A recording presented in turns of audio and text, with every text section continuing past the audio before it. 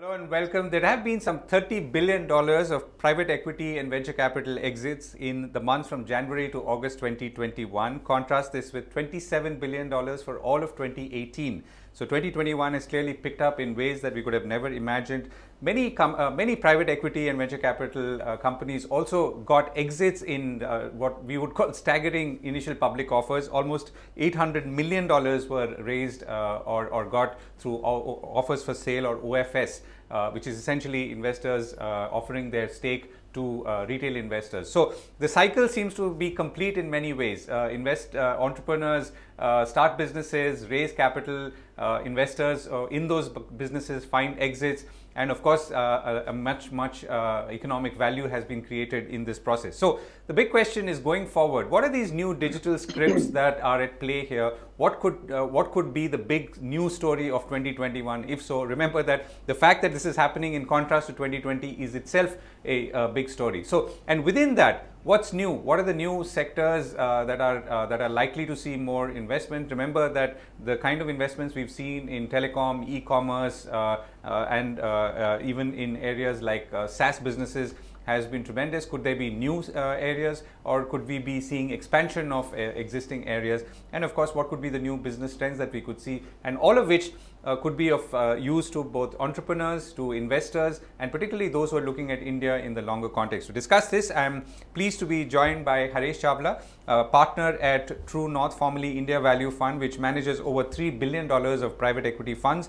At True North, Haresh focuses on investments in the food and consumer sectors, where he identifies and helps transform mid-sized businesses. He's best known for his leadership in transforming the Network 18 group into a formidable media network. Under his watch as founding CEO, Network 18 became India's fastest growing media and entertainment network.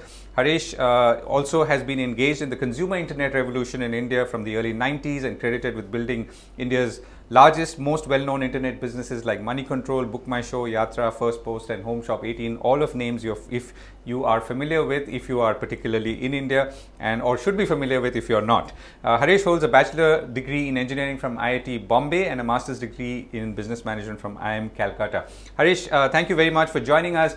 So the uh, uh, tell us about the new digital scripts that you have been writing about very very diligently for some years now and in a notable article in the beginning of 2021 and where we are today uh, in the middle of 2021 looking ahead. Thanks, uh, Govind. Thanks for having me. Great to see you again. Yeah, I think uh, when we look back, uh, 2021 will turn out to be a turning point for India as a whole nation, not just the digital part of the economy. It's it's almost you take 1991, uh, which was when we liberalized. We created a whole bunch of new companies. A wave of entrepreneurship took place. Uh, liberalization uh, of the financial ecosystem happened uh, money raising became easier for a whole new wave of entrepreneurs, new categories got created, new sectors got created. Uh, we are almost at that moment. And then take another moment, which is the Y2K moment, where the Indian uh, software industry and the Indian software engineer, the, the Indian software coder, became globally renowned and they became part of virtually every uh, wave of digitization that, that has happened since then. I think when you take these two moments, you multiply them and you raise them to the power of n, is what we are seeing in 2021. It's a it's a phenomenal shift. Uh, uh, and the way to look at the shift, uh, you know, that's why I talk about multiple digital scripts because it's not easy. You know, it's happening at multiple levels actually. At a simple level, uh, what I've talked about earlier is that, you know, with the entry of Jio in 2016, we became a nation of massive internet consumers. In a sense, people who, let me qualify that, people who consumed content over the internet. But with COVID and with what's happened over the last one and a half years, we've all those internet consumers have become internet transactors. So you know, I I look at India at you know at three levels. There is a trillion dollar economy at the top, uh, 10, 15 percent of our uh, uh, base. There is a whole fat middle, which is about a trillion dollars more, and the bottom, which is again large, but that's only about half a trillion dollars. So till COVID happened, really the whole play was in the top one trillion dollar economy. Uh, and therefore everybody was fighting for uh, India. And the second uh, layer, which we call Bharat, had not really started transacting over the internet. But that's completely changed now. And therefore, if you look at it, what's really happened is over 20 and 21, we have actually added a whole new set of transacting consumers. and a whole economy really, uh, which is almost multiplying India by two, uh, has come in now. And, and that's visible across categories. If you look at what's happening in tier two, tier three towns on consumption, on they're buying on the net, what they are buying on e-commerce, how their, their food habits are changing, how they've grown the markets for online delivery. Uh, it's just a massive shift. So it, it's a difficult thing to just stand and understand it unless you look at it as if there are multiple scripts playing out, like one of the large OTT shows, like a House of Cards or uh, you know Suits or Games of Thrones. There are each of these aspects has to be seen differently to make sense of the uh, changes that are happening in India. So there is at one level a whole new set of consumers have come in. Remember, you know our, our railroads have been ready for them. The UPI. So look at the confluence of things. There is massive smartphone penetration, the cheapest bandwidth in the world, uh, digital rails uh, for payments, and now account aggregators coming, and we can talk about it later. But essentially, you're finding this whole confluence now playing out. Customers now willing to transact over the net. They're trusting uh, uh, their transactions over the internet. Uh, and frankly offline cannot reach them anymore and everything can reach them online. In india too what you're seeing is not that they are shifting from offline to online as much as that what there was not available off- offline at all is now they are buying online. So there is this democratization also that's happening so it's a veritable kind of gold rush that's happening where the gold isn't likely to run out. The gold diggers, or maybe I need to call them miners, but really, if you look at what's happening in the talent space in India, again, it's almost like gold digging. The spades are being sold, and the railroad is available to go dig into these uh, gold mines. So, really, I, th- I think we are at a moment that is has we've never seen before, and I don't think we'll ever see again. In the, what we'll see in the next five years is probably going to reset India completely. Uh, much like you know China went through these moments about 25 30 years ago we are likely at the same moment without realizing it today and the, the middle trillion dollars that you talk about and, and the way it has opened up is something that you see as secular and going forward. And also, I mean, for those who perhaps are, uh, are not completely conversant with this, uh, tell us the difference between the India and Bharat. I mean, why do we, uh, why have we uh, treated them distinctly? And to that extent, have they merged completely now? Yeah, so uh, you know, India was always the wealthier part of our society. It was the more uh, educated, English speaking, and more integrated with the world, and had the capacity to spend, the money to spend, and uh, really they, they, and they were the first people that were attacked by the Google, the Facebooks, the Instagrams, and the uh, WhatsApp, right?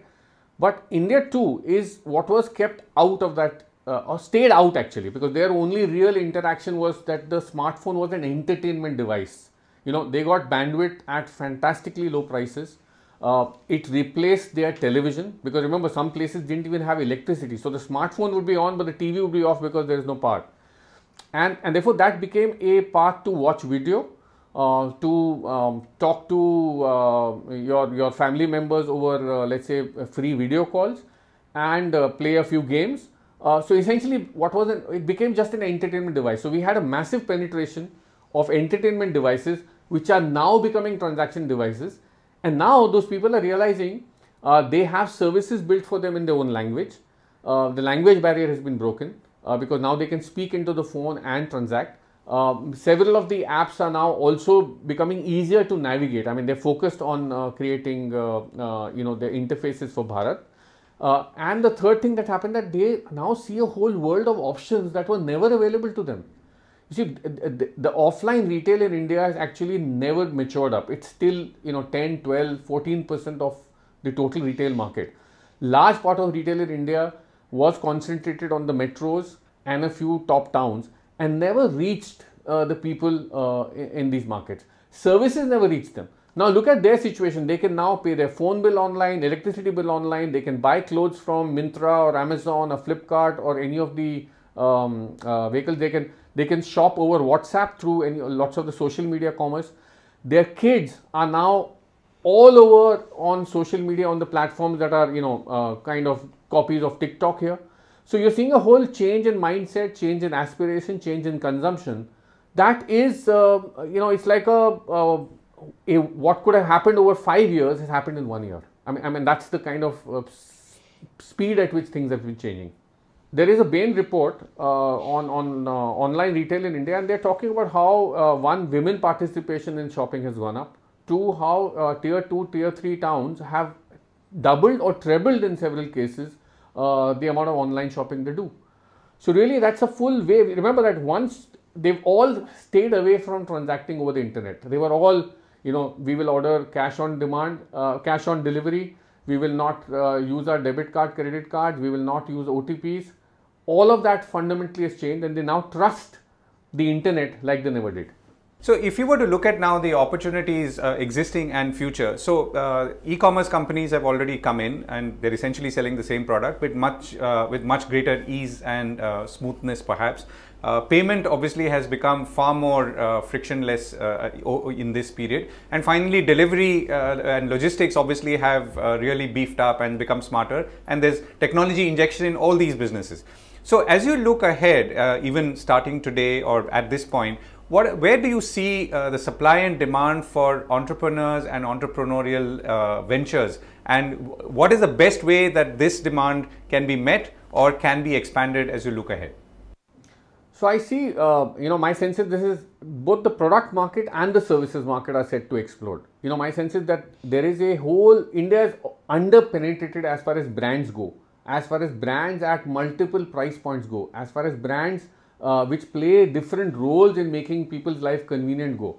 So you find, I, I think that there is a whole DT, D2C wave and we are seeing uh, how uh, almost a billion dollars is flowing into that uh, kind of market right now and just in the last few months uh, where funds of funds are being created in a sense uh, to, to you know fund and grow D2C ventures.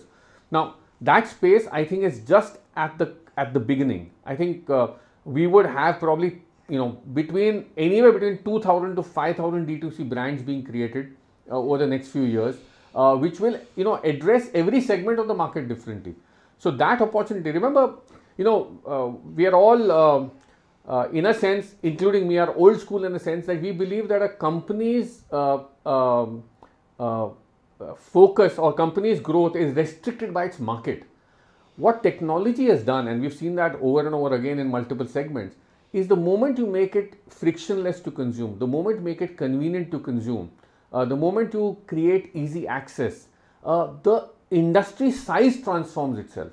It happened in music. I mean, happened in uh, in photos. I mean, when you make it music digital, everybody has access to everything. You suddenly transform the consumption pattern of people. Online delivery, for example, the fact that I can order a hot meal to my home or a hot snack at home uh, in and it reaches piping hot in about 15 minutes to my place uh, completely transforms my consumption behavior. So, what we are unable to imagine is this whole idea that because technology is now uh, going into the DNA of several of the offerings, the, they will transform the industry attractiveness completely.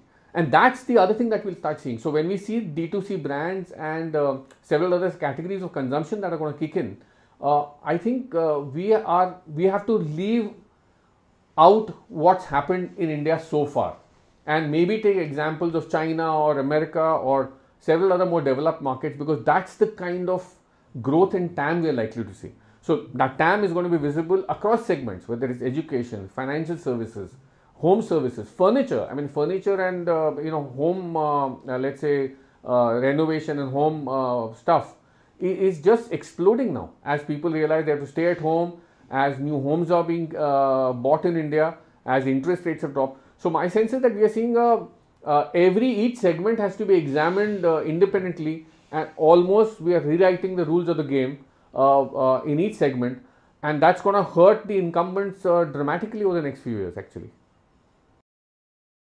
Right, and, and that's an important point, I guess, to note that you know do not look at the past if you're at all trying to build the future because the past can, in many ways, imprison you. So you know, talking about incumbents, now we've seen some big acquisitions here. The Tata Group, uh, which is uh, in, in pretty much India's oldest conglomerate in that form, has uh, bought into uh, a pharmaceutical distribution company. It has bought into a grocery company, 1mg uh, and BigBasket. So what is this telling you, and and what lies ahead? Is this is this move going to uh, you know pan out? I mean is it going to be a happy ending even in the near term? Or could and, and could there be concerns? And uh, what does it tell you of the market and its behavior?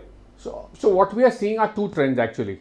Uh, one is that um, conglomerates like Tata and Reliance and maybe even now you'll find Airtel and Bharti, uh, several of the large, Adani probably, you know, all these conglomerates will actually buy digital businesses because they can see how transformative uh, uh, they are and what the big threat to them is. They can be just completely left out of the game, right? So that's one trend, uh, and whether you call it super app or semi super app, whatever you know nomenclature you give it, it's essentially these companies realizing that the DNA doesn't sit within them. They need to acquire businesses and maybe imbibe some of that DNA back into their old uh, uh, legacy businesses. So I, I, think that's one transformation that uh, we'll all actually witness as we go along.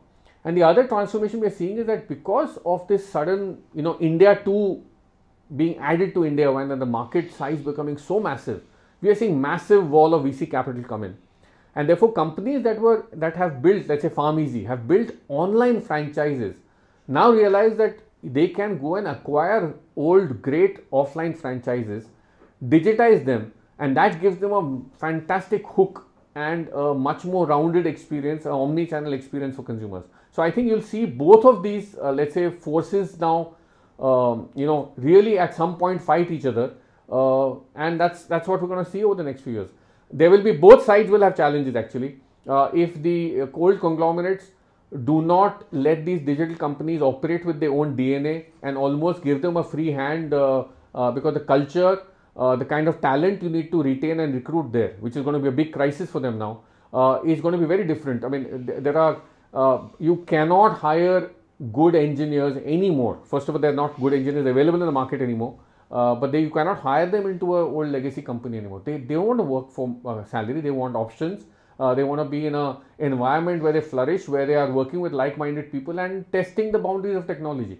None of that's available in in old-fashioned company, and that's why you see the struggles of the banks or, struggles of an HDFC bank, for example, or you see the other banks struggle. They are nowhere near uh, and, and, and that's a stark reality. Less than, I think, less than 2% of the online payment, on the payments which you do on retail, like you ha- uh, are done by the traditional banks.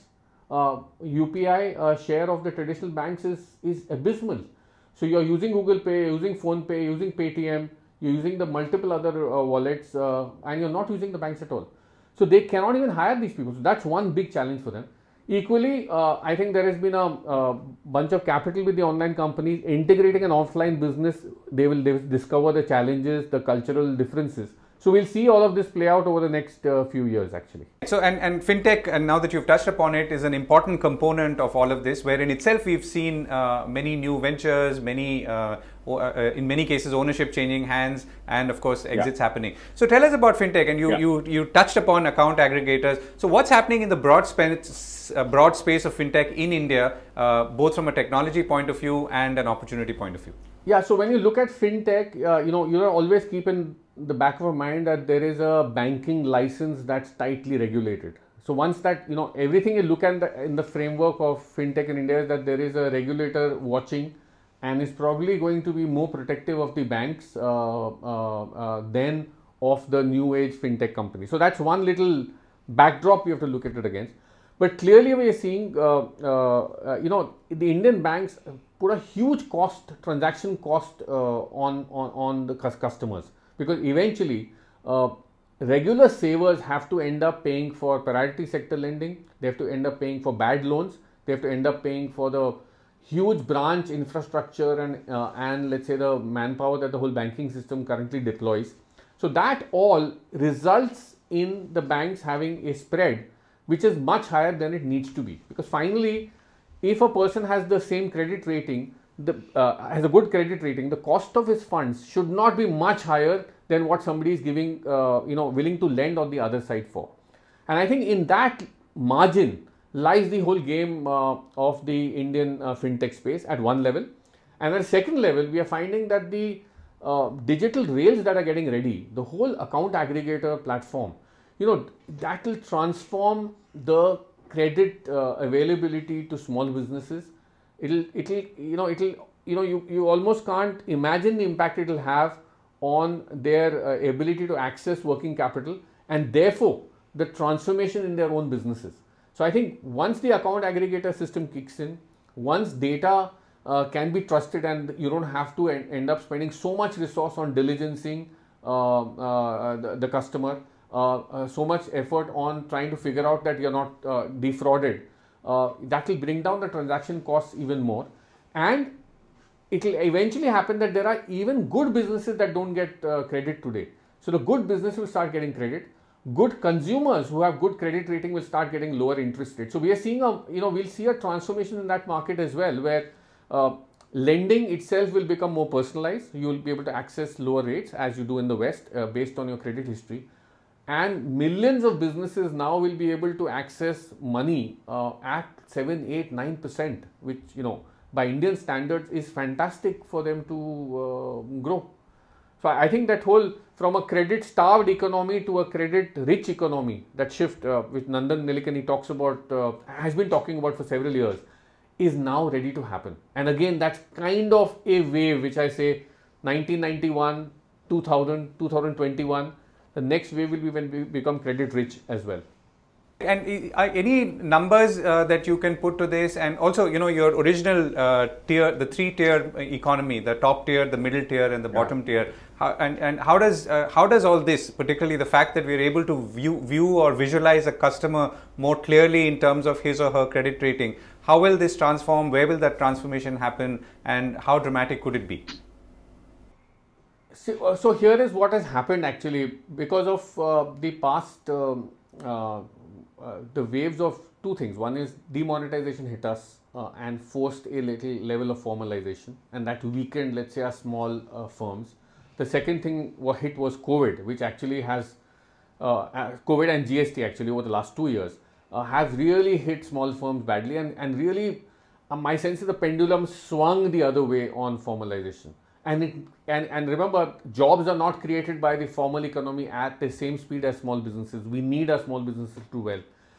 My sense is with the account aggregator, which might, will be pushed uh, quite uh, well and deeply, I sense the government will do that. Uh, you will actually find a revival in our small business uh, economy, and that's required because otherwise we will never be able to, you know, get the jobs that we need to give to our young people. So it's almost like a mandatory thing for account aggregator to go and small help go and small help small businesses because that's the way we'll solve a job problem. Otherwise, we are on a on a path to extreme formalization, uh, uh, which is really going to hurt us in the long run. So, you know that's how I see the whole uh, game playing out uh, uh, over the next few years. And, and what are the kind of uh, investment uh, opportunities that you see in this space? And I'm talking about within FinTech. Is it going to be more, let's say, on the rating, the uh, maybe AI-driven, uh, uh, you know, understanding of uh, consumers, more algorithmic? So, so and and broadly, I mean, if you were to classify, let's say, the first wave of FinTech about removing friction and access, how would you characterize this second wave, if one can call it that? I would call this second wave the smart wave. Actually, now is the time where you know you will be able to identify that this person or this business has this single bank account. The single bank account has this cash flow coming into it. Uh, this is the contract. I'm. I'm sure when you mix it with smart contracts and authentication and credit rating, I think you really have a smarter, let's say, profile of a customer or a business trying to access credit and uh, and therefore that will cut down the fraud risk. Moment it cuts down the fraud risk it cuts down the cost for everybody because you know everybody otherwise prices finance uh, taking into account the fraud risk and the uh, default risk. So my sense is that there is much more information going to be available. That information was available but it was not available in one place. It was not available consistently and it was not available at a level where you could trust it. And that's what's going to change. So i think this whole smarter uh, kind of uh, uh, let's say profile that's going to develop, the DigiLocker that will come up, the account aggregator, and probably you know this whole crypto and NFT wave. Uh, we, um, clearly not coming into fintech, but blockchain as it gets used, and as companies start sharing information and profile data, uh, you'll find a whole wave of. Uh, you can now go and really auction your credit off.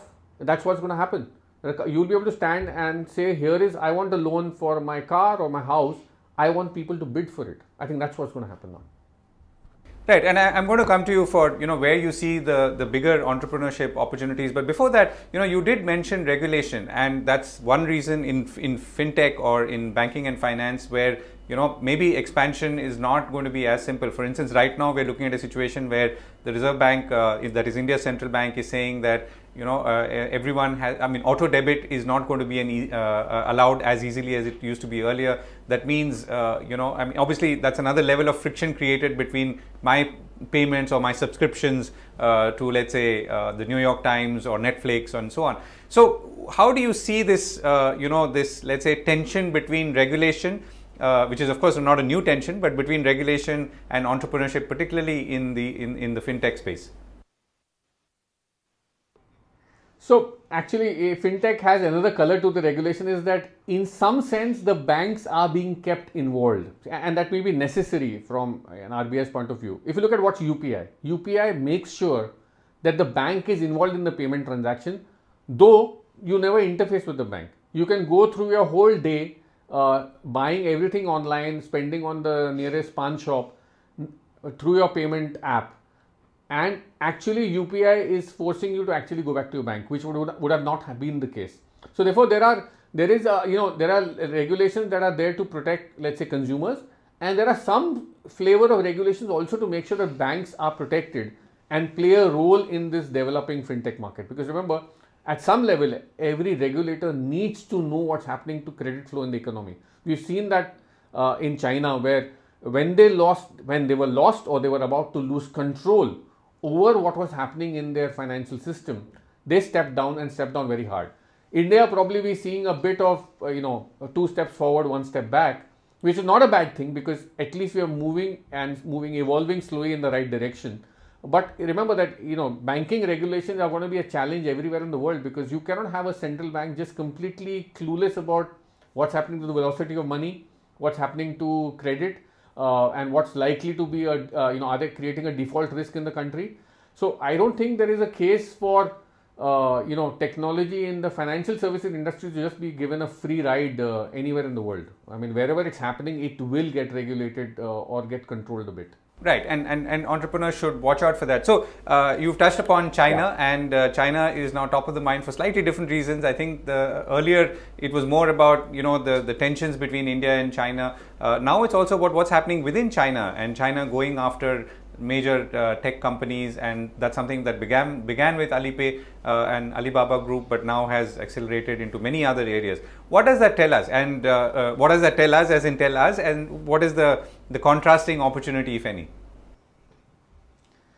So my sense is that you know I, I think if you look back historically over China, China has had a series of social experiments and now we are seeing you know the next five year plan as one more uh, social experiment that's going on they have, uh, I mean, the single child rule that they put in place 30, 35 years ago is now coming to bite uh, as they are now realizing they have an aging population and and they are unable to get their current population to start having kids because you know it's difficult for uh, housing is expensive school is expensive. So they are trying to undo a, a experiment that they did several years ago and are now really caught up in their own, um, uh, let's say, uh, uh, tangle on it because you know to change uh, behavior of millions of consumers by sending them signals, incentives is going to be difficult, and, and therefore uh, they they are trying to figure it out.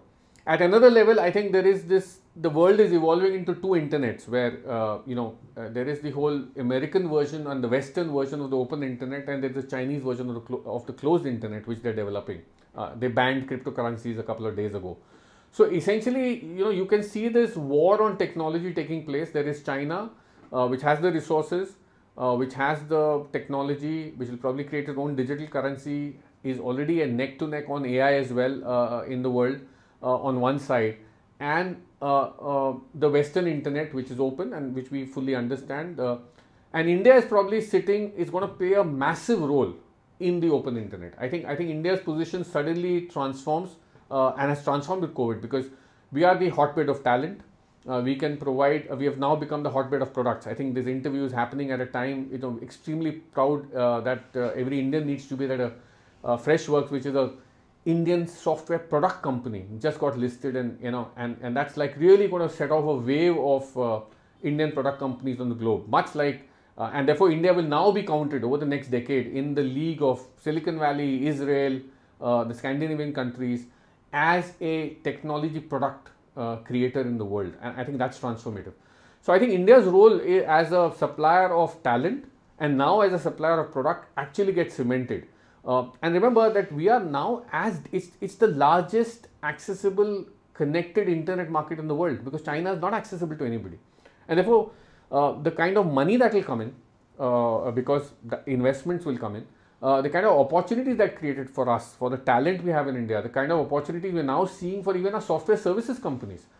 Look at what's happened uh, to the TCS, Infosys, and even the whole slew of mid-sized software companies.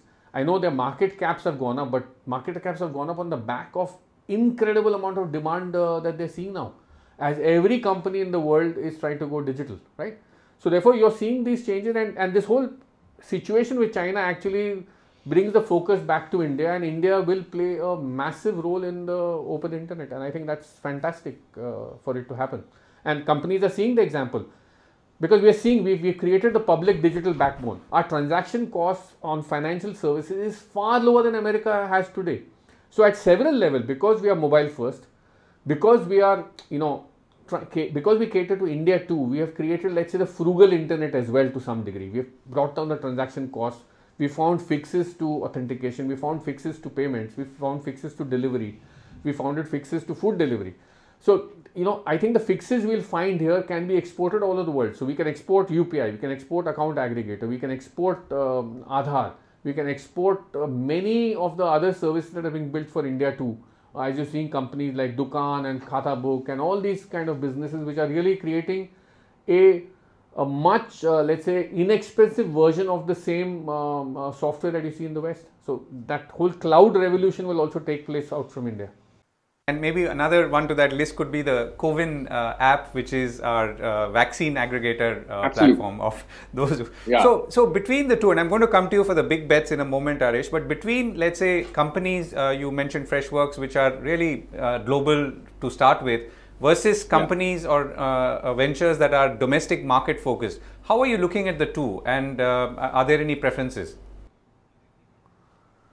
um, really, my sense is both are incredible opportunities. So there are companies that are uh, digitizing, let's say, Indian businesses uh, or or offering services to Indian consumers, are probably uh, bringing back, let's say, even uh, uh, or, or buying out legacy businesses and digitizing them. I think there's a massive opportunity in India. Equally, I think globally the services like Zenoti, Freshworks, Zoho, uh, and you can name a bunch of companies that are trying to create global products out of India. Both, uh, you know, it'll come down to the DNA of the founder, uh, the capability of the team, the kind of product they make. So, you know, each you'll have to then go to the specific use case. But the TAM has been reset, uh, uh, and uh, for both. In a sense, now if you're an Indian company building software for the world, like you see BrowserStack or you see Postman, all these companies are are doing phenomenal jobs globally. so I, I don't see there is you know each opportunity will have to wait on that specific company. But uh, market opportunity for them is is incredible. I mean look at what's happening in logistics or even trucking uh, in india. These are all fantastic growth opportunities right. Uh, big bet question still coming up. Uh, what what are the risks or downsides that one must uh, uh, bear in mind? Or or you know factors to watch out for in in in this in, in in all the the good news that we've been seeing so far yeah, so, so, I think one of the key challenges we have is that you know I and I call it this. I think India is now getting a digital dividend because of COVID and what's happened in the globe, much before it can extract its demographic dividend. So, so I, I think one of our continuous challenges uh, is is going to be how to you know create some sense of equality and or uh, you know not create a two tier you know a deeper two tier economy where there is the people who have and the have nots are a much larger uh, base uh, you know, I know, you know, it, it, it's tough. Uh, job situation is bad today. Uh, uh, and, and therefore we need to really focus on making sure it doesn't become a Brazil kind of uh, situation where uh, there are a few people with lots of money and there is a vast population that is really, you know, really living hand to mouth or is struggling constantly to get out of their situation and, and make life uh, better for the next generation. So I think I think we have to really figure out how to use this digital dividend and transfer it to uh, really reach out and get uh, our demographic dividend, which remember China doesn't have. We still have that fantastic opportunity. We have uh, the Indian family unit is something that can win uh, this war for us uh, against China because uh, it's integrated. Our family unit is intact. Our, the parents are focused on education, making sure that next generation does better than them. That whole, let's say, DNA and behavior uh, can take us out of it if we make the right steps in making sure uh, education, healthcare, electricity, infrastructure all falls in place. Eh, we, we need that to happen. Right. So your concerns are really more uh, at a macro level and a public policy level, from what I can see. So uh, and and not so much, let's say, on either regulation or market size or trade policy and so on. Not really. My senses are regulators are, uh, we've seen that uh, since 91 actually. So our regulation is never a straight path in India. But uh, I think we are all evolving in the right direction. From you look at what's happening in insurance, what's happening in, um, let's say, even what they've done for Ola and Uber uh, in India. There will be restrictions. I don't think uh, uh, you know India will allow technology companies to come and wipe out markets and therefore we'll evolve slowly. So I have no concern on that front. I think our big concerns are really macro. How do we make sure that the millions of people who had a setback through COVID, millions of people who are unlikely to get job because our manufacturing sector hasn't taken off. How do we create millions of coders? Because you know that's a massive opportunity. I call it you know code for India is more important than make made in India or make for made uh, made for India. We we can supply millions of coders to Indian software companies to global software companies and really it will pull us out of this uh, situation we are in. Right. Okay. So, uh, uh, last question or close to last question. So, what what are the big bets and uh, what are the big opportunities that you are seeing, uh, and uh, by either by sector or by vertical, and where do you think equally would be the opportunities for people to either invest or create businesses? So, you know, I, clearly we talked about financial services and how this whole, you know, see what happened when we created UPI, we created a whole set of companies on that base. I think the next thing that's happening is account aggregator that will give rise to a whole bunch of mm, you know unicorns who base their businesses off it. Uh, the smart contract. So I think getting India to do business in a much easier, much more secure, uh, and much more credit worthy uh, manner is one huge opportunity that I can see happening. That's one. We talked about D2C. Uh, again, either it's D2C or it's traditional brands really uh, embracing the whole digital transformation. So that's going to happen. Uh, that's the other opportunity I see happening. And the third is social media and social commerce, uh, which uh, uh, which again is is a massive. Un, let's say it's not taken off as much as China, but it will. So therefore, that's the other wave that I see happening as people try and monetize their social commerce and social links with customers in India. So three kind of spaces I see really doing well. Right, and and uh, personally, you also invest in a lot of companies. Uh, what's been your own, whether you've invested or not, what's been your own biggest surprise uh, on the upside? I don't know if you want to talk about the downside, but surely, what's been an upside that where I mean, you've thought of everything, you've, uh, uh, you've uh, seen the ducks line up, and yet it's been a, a positive surprise for you. So, uh, you know, really gaming actually. I mean, it's, it's, it's, I never thought that India will uh, move to gaming at, because gaming failed in many av- avatars before uh, COVID or, or, before the last two, two and a half years. And that really is just taken off. I mean, you're finding people gaming and they're willing to put money and play with games. So that's one. Uh, the second thing I'm really surprised by is the desire of Bharat to pay for uh, content. Actually, it's surprising that uh, we we always had this uh, thing that we'll have to give away everything free, but uh, businesses that are selling content or creating content and are creating uh, small bite-sized content and taking charging for it are getting customers so it's unbelievable that the small size payments has taken off so well. I think these are two kind of things that I, surprised to me. Right, and, and both are very important in telling us about the very nature uh, of this consumer, the, the nature of this consumer in this very interesting uh, three tier economy that's uh, evolving very, very rapidly in India, and the sheer opportunity that lies ahead, uh, particularly as we create more products, more uh, uh, more direct to consumer products and of course the payment system that will make all of the, all these flows very easy uh, and and simple. And therein lies some of some of the biggest opportunities. Uh, Haresh Chawla partner at uh, True North thank you so much for uh, speaking to me. Hope to see you soon again. Thank you. Thanks Govind. Bye bye